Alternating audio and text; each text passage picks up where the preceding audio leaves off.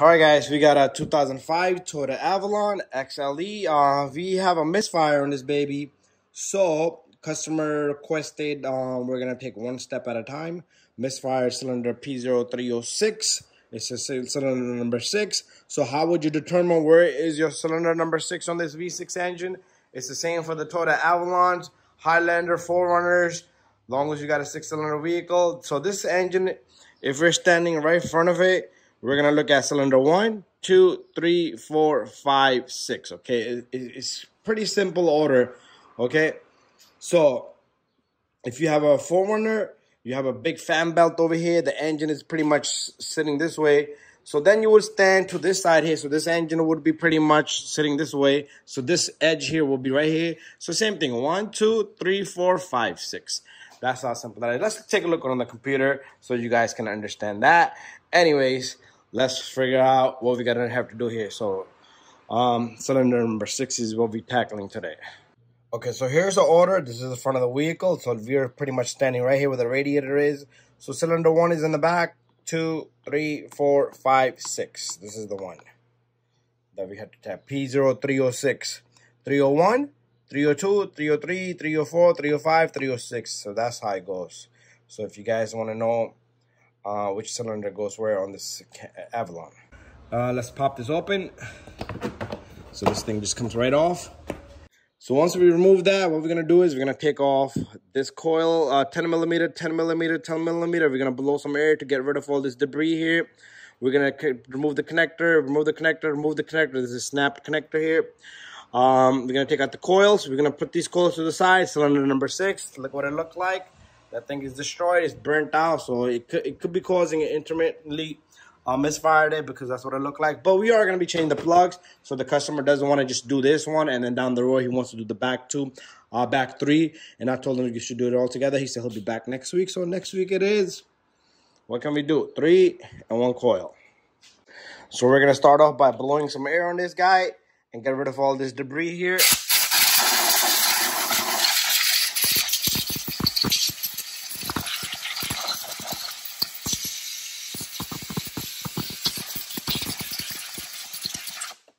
He had a lot of shells here, so always inspect your wires because uh, sometimes you'll have a squirrel or a rat sitting here. They'll eat the wires. That could be cause, uh, causing the misfire. So that is that. What we're going to do is we're going to put this away and then we're going to start working on this. Okay, so what we're going to do is uh, we're going to remove the 10 millimeter bolt of these and Remember also, if there's any oil on these ignition coils or on the plugs, that could be part of your misfire. So make sure, um, let's put the bolts up there. So if you're working back there, you don't want to put nothing up there, okay? Because you don't want anything falling down into the cylinders. So we're going to remove these connectors. Okay, that thing didn't work out so good. So these are all missing kind of tips of it, but they should come off. Let's get this guy out of here. All the connectors out. So you want to put these coils to the side because uh, these are the good ones. You don't want to mix and match. So no oil so far. So somebody's been working on this vehicle. They put a used battery last time for this guy. So everything is a disaster. You never want to put a used battery. So the cylinder looks good in there. Um, customer also said too, look at this ignition coil. This is shot. It's melted out. Something, I don't know if something spilled on it, but this looked like it's melted. So you never want to uh, use used parts. Also, he said uh, someone must. Uh, we're gonna pull out one of the plugs. We're gonna take a look at it because he said they did do tune up on it. Let's see if they did do tune, up on it. Okay, got a socket here. This is a uh, uh, three five by eight. That's the number on it. Five by eight. Uh, three eight drive with a ratchet. So I'm gonna do this with one hand. Try not to attempt this with one hand at home. Try to use both hands. So there you go. And we're gonna pull out one of these plugs. I'm gonna have to ah, take this guy off. Once you're losing it, you should be able to remove this little guy. I'll show you a small trick. Once you're losing this plug completely, what you wanna do is take your coil, send it back down. If it stands straight, it will grab that plug and bring it out for you. So there it is. There's your plug. All right, so we're not touching his plugs. This is brand spanking new plug. Denso, good brand. So we was using Denso, so this guy was pretty good here. So whoever worked on this car was good freaking uh, parts guy. Parts knowledge. So there it is. We're just going to change the ignition coil. And um, we're going to leave it there.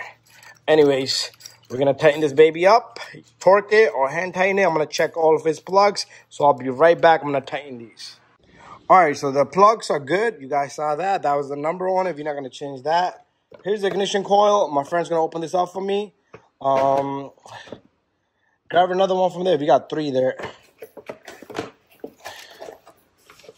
Okay, this one, uh, does it have, uh, usually I see like a, does it have, show me? Yeah, this one doesn't have it. You see this? It doesn't have that tape here. This one has it. Always look for that. So if it's not sealed like that, return it, get another one. We're going to pop this open. But meanwhile, remember, this coil is bad. So we're going to put this baby in, these two in just the way they were. And this one was here. A lot of people ask me, should I change all the coils? It's all up to you, but they're expensive, man. These are like $90 coil. So if you want to spend like a hundred bucks on each coil, it's all up to you. So we're gonna put the connectors in. And remember, these, these are a little snapped up, but that's fine. They're not gonna bother us. We're gonna take the 10 millimeters. After that, reset the light with the scan tool and go for a spin. The light doesn't come back, you're all set. There goes nothing. So if you had a cylinder one misfire, you would, uh, I'm sorry, the cylinder one is there, two is here. So we tackle that three, four, five, six. That's the order. All right, we got the coil out of here, out of the package.